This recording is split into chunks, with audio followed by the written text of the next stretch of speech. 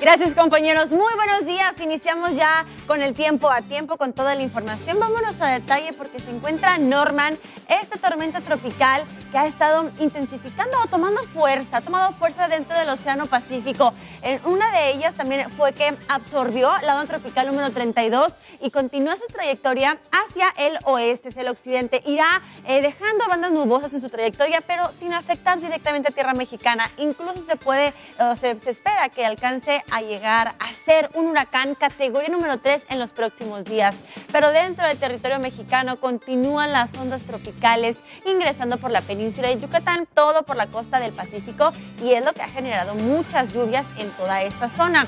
Un constante ingreso de humedad ha estado presente desde días, semanas ya pasadas y también en el Golfo de México. En el día de hoy se está esperando que continúen estas ráfagas de viento importantes en todo el noreste, desde Coahuila hasta Tamaulipas, principalmente en el norte de estos estados se van a sentir un poco más estos vientos que pueden superar los 50 kilómetros por hora.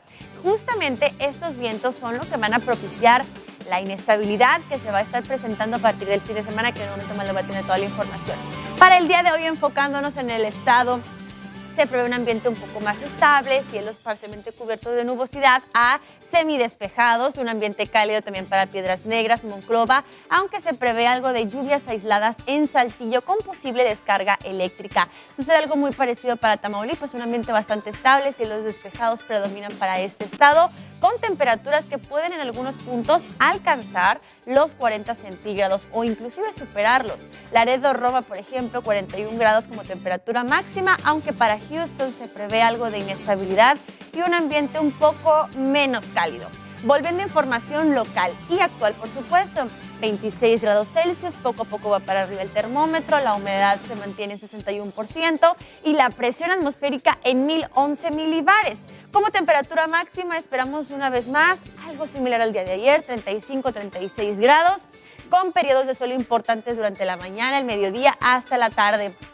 30 grados es lo que se prevé para finalizar o cerrar la jornada.